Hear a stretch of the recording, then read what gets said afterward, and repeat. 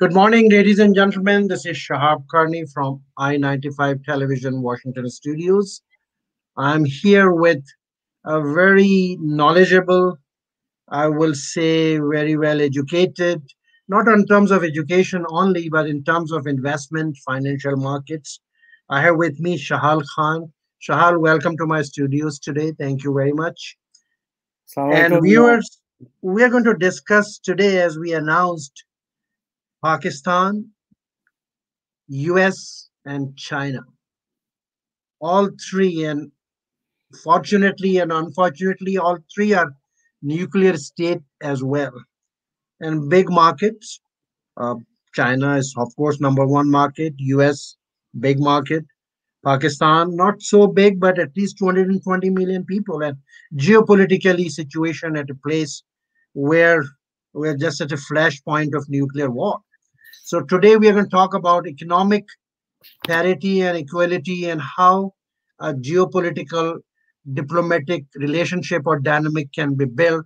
So Shahal, not only in academics, as I said, but also very much engaged in the financial market. And why I picked him up, because he has got his interest and eyes in that region real time.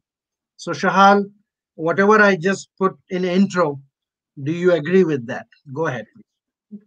Uh, yeah, Shabai, thank you so much for inviting me. And and actually, if I start looking down while I talk, it's because this is such a um, important topic that you know there's uh, notes I've written down before our conversation that I want to make sure that I cover, and I wanted to cover um, what is the actual possibility of of this working in favor, um, this China and U.S um, sort of focal point, which is becoming Pakistan to a degree. Um, there's many other focal points where I think the two are meeting, and uh, there's a lot of geopolitical differentiations that are going on in strategy based on many things that are changed. I think uh, COVID and all the pressures that came along with it have accelerated a lot of these geopolitical um, instances where uh, these two countries uh, are, are meeting each other.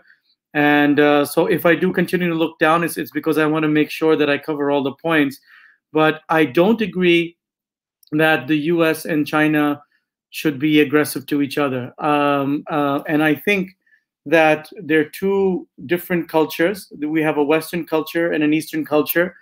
And in my view, the US is a, a culmination of a Western culture uh, philosophy that has been uh, propagated and accelerated and, and, and mightified, if I may say, over the last, you know, since World War II, as the super uh, the super mind trust of Western philosophy. You may call it uh, the mechanical philosophy, the mind philosophy, the philosophy of corporations, of uh, of uh, globalization, uh, which means that the U.S. after World War II and then controlling the oil market, the fuel market, becoming the the world's central reserve currency sort of protector, has um, always uh, reacted as a as um, after, especially after the Soviet Union fell, as the world sort of beacon uh, in in in um, sending out its financial culture, its its mind uh, culture, educational culture. But you know the that culture in itself now is uh, at certain points politically, academically being confronted with Eastern culture, uh, with the Chinese side of it. Now, now people in the United States and, and a lot of people are are looking at China as the enemy. They're looking at it as a as a machine. They're looking at it as a sort of an atheistic government, uh, you know, enslaving the people moving forward. But we have to also understand one thing: we shouldn't demify China. We should look at China as a 5,000 plus year old culture. Uh, yes, in the recent past, they've ad- adopted what they've adopted, but we have to remember one thing that China uh, came into the sort of manufacturing system due to Pakistan and the meeting between Kissinger and Mao, where we attracted them to come out of pure communism. And, and we, as the United States or the West, made a deal with them where we would give them our manufacturing in exchange for them to uh, break away from the Soviet Union and to break that pact. And so that was our deal with them.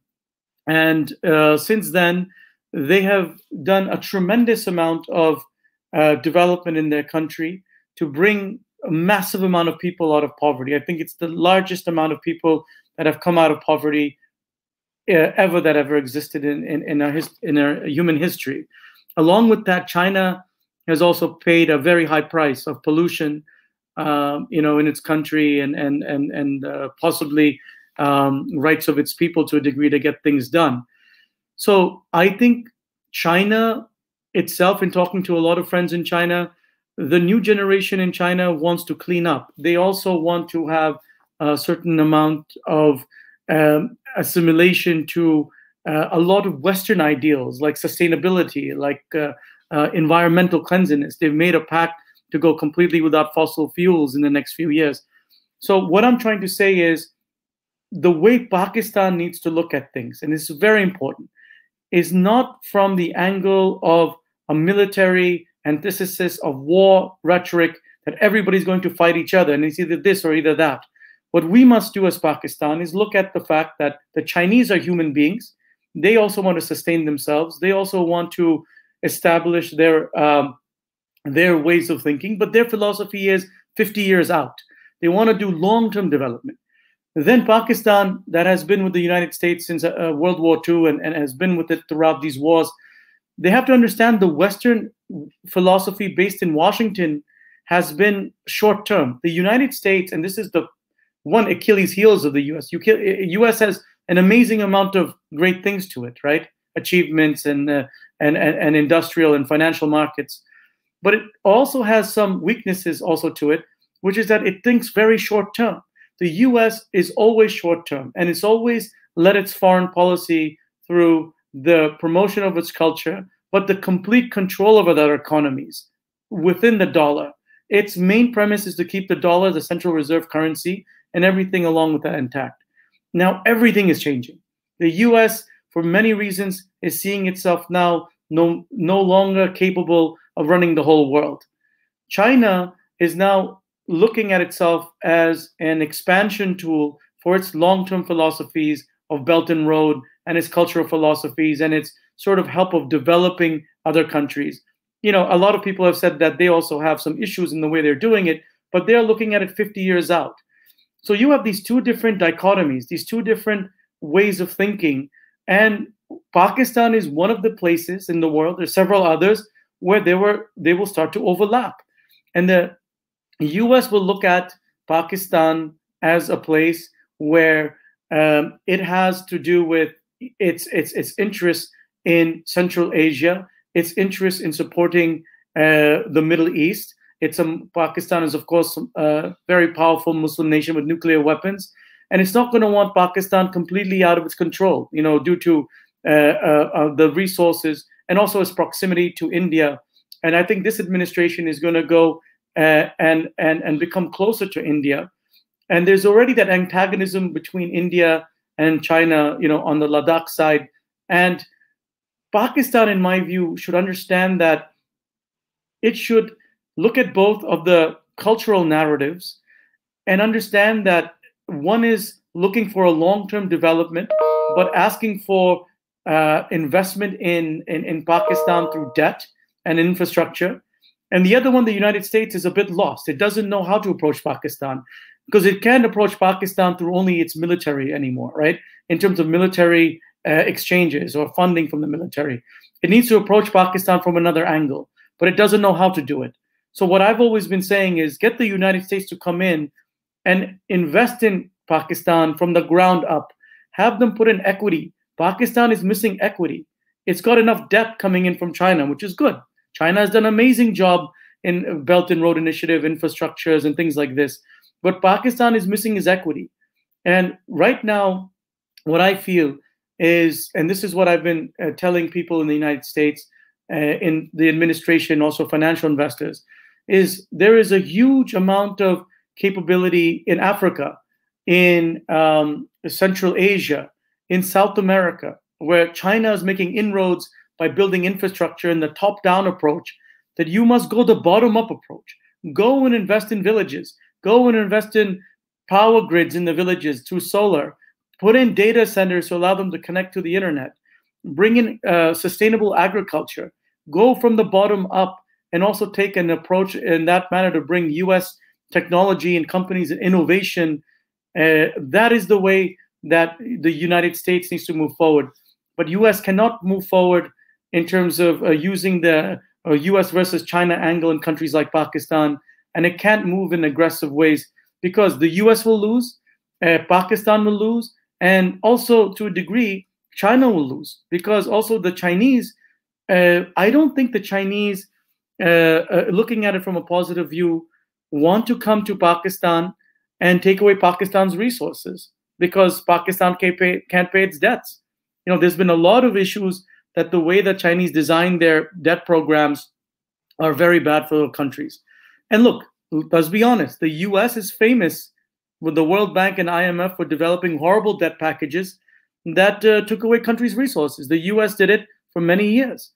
And so, um, what I'm trying to say is the only way that US and China can work together in Pakistan and work in unison is for Pakistan and the people in Pakistan to realize how to relate to both of them in a manner which is not to create a conflict, but to look at what the positive is in both sides and to appeal to that positive. Invite the uh, Americans in to invest in innovation and invest in equity. Invite the Chinese in to do the infrastructure and the top down approach. And I think we'll find a way to bridge and end up with the most success out of this. Shahal Khan, very articulate. Uh, you gave the solution, you know, from top to bottom and bottom up, good convergence and combination. I like that example. My question to you, Shahal, because you have been involved with the pre, uh, not involved, but engaged at the intellectual conversation level. We have seen the Trump administration for last four years. And now we have got a lot of friends in Biden administration, not only uh, through the administration, but their involvement with different think tanks. We have been engaged with them for years.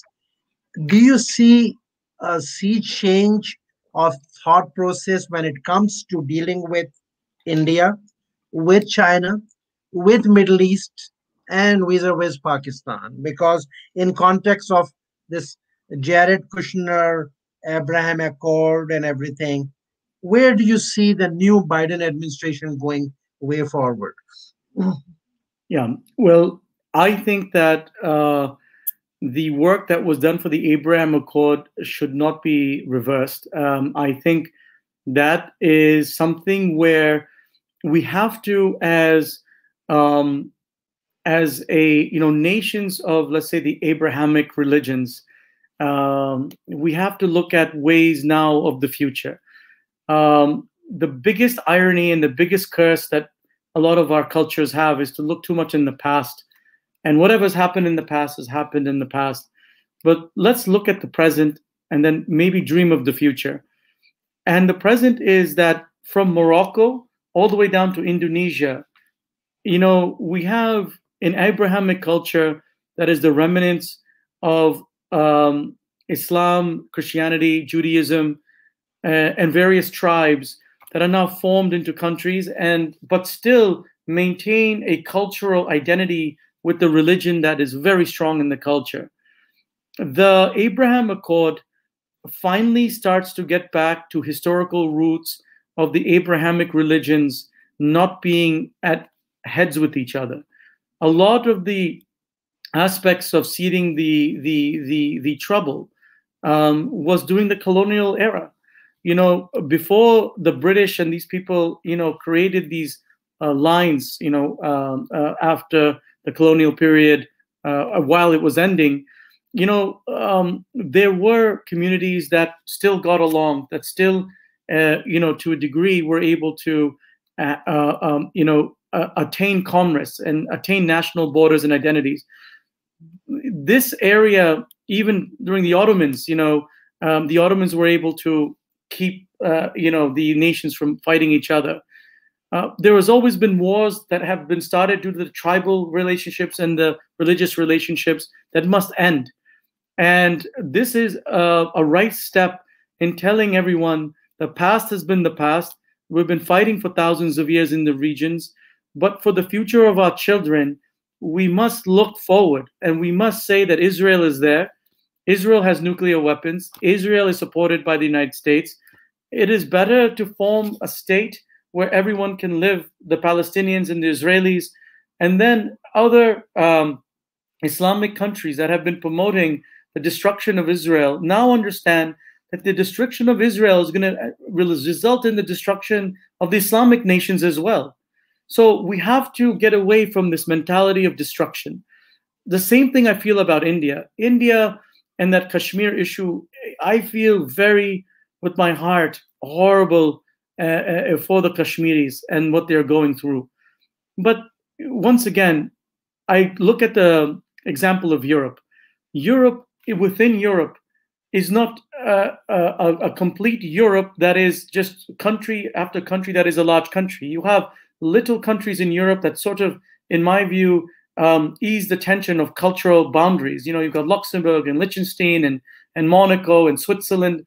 You know, sometimes you cannot have people dominated one culture by the other. It's a very old mentality where one culture needs to dominate another culture.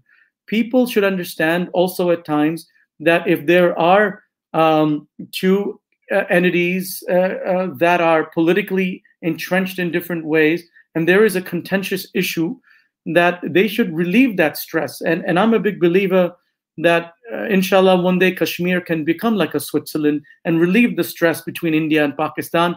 Because India and Pakistan and the people of India and Pakistan have to think about their population. And to spend that much in military every year is insane. And we've seen this with the COVID virus. Today, all that military is junk. One virus, if it comes back even worse, and the bioterrorism can wipe out all the militaries there.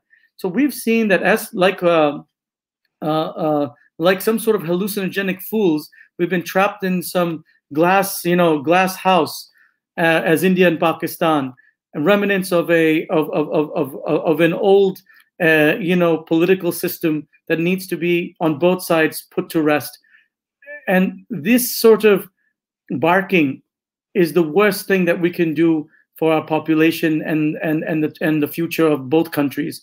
Um, China is also wielding its power, um, but I think China, um, if India and Pakistan and the former colonistic states like Bangladesh and Sri Lanka, uh, Afghanistan, they come together they will be uh, as a size as an economic area you know on par with china.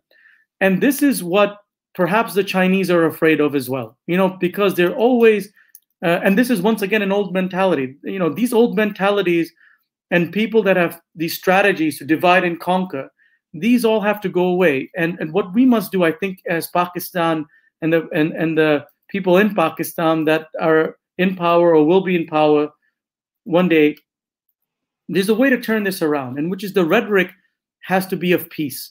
You know we have always when i've seen how pakistan has reacted has always been to put up the military. It has always been to put up the armed forces because we have to be strong because india is there and you know it's david versus goliath.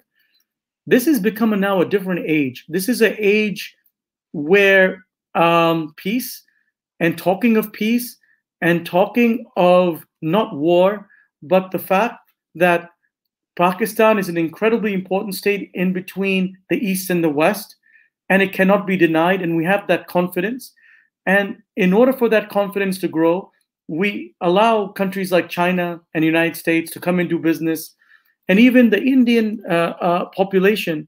Very soon, Shahabhai, uh, very soon, I say 30, 40 years from now, fossil fuels and the thing that has been running all these wars and these issues and the tensions for so many years are going to be a thing of the past. You know, we're seeing what's going on with electric cars and renewable energy. You know, Pakistan is sitting on such massive reserves of resources that India doesn't have, uh, China doesn't have. They are going to need Pakistan to, to for the future of energy consumption. You know, future of products, and that knowing that and having that confidence I don't think Pakistan and the government and the army or any of these people in power have to have to push these games anymore. We should be confident and we should be stable and we should talk of peace and we should talk of cooperation. And we have to understand, even everyone's a human being. You know, a, a Chinese person, an Indian person, an American person, all have families. They all have fears. No, you know, all this posturing is only done by politicians, and it's only done by people that want to conquer and divide. And and I think the time for that is over. And um, I believe that uh, the uh, administration here in the U.S. Uh, uh, this one, you know, if we go to it and we talk of peace and we talk of innovation, um, I think we will have uh, people that will understand and listen. Um, I think that Shahal Khan. Thank you very much. I mean, you were, as I said, very comprehensive, very articulate. But my final question to you, because I'm talking to somebody, Shahal, I'm not treating you as a professor of economics, you know, I mean, who is just lecturing or thesis, but you are a real-time investor as well. So uh, we're talking about economic opportunity, the missed opportunities, loss of valuable time. So as an investor, do you see a hope in that region where say China, Pakistan versus US? Do you see a hope? Are you optimistic that we can do certain things which are different, but how? Your turn, Shahal. I think the most important thing in Pakistan that it has to be um, a combination of confidence uh, from the from from from Western investors to bring equity into the country. So there has to be confidence that the legal system is going to work, uh, and uh, the issues like Reko have to be solved. Um, we have to also take care of Reko and the re- repercussions that have caused other issues in courts, like uh, the Roosevelt issue and the World Bank. I mean, all of these things do not give people confidence to invest as funds in Pakistan.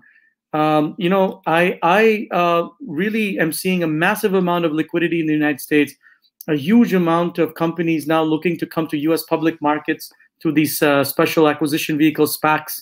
I'm doing eight SPACs uh, with um, uh, with companies that I'm putting on the Nasdaq. Uh, I just saw an Indian company in renewable energy called ReNew Power go to the U.S. markets from India and go public for is going to go public for seven billion dollars. Now that company will have access to the U.S. capital markets. All this money printing in the U.S. has resulted in a, almost a golden age of money. Now, why are we in Pakistan that need equity not doing this? We need. We're shouting that the Chinese, you know, the debt's going to kill us. Well, why doesn't a few Pakistani companies, and I'll be happy to talk to a few why don't we take them to the stock market in the United States and give them all the money they want? The interest rates here for equity, I mean, for bonds are, are, are next to zero. Uh, the equity rates that investors are asking for emerging market companies are, are very attractive. And there's more money I've ever seen in my life in the stock market. So, what we must do is we must um, create a bridge, um, as I said, and, and, and have companies and uh, projects that are in Pakistan that need funding.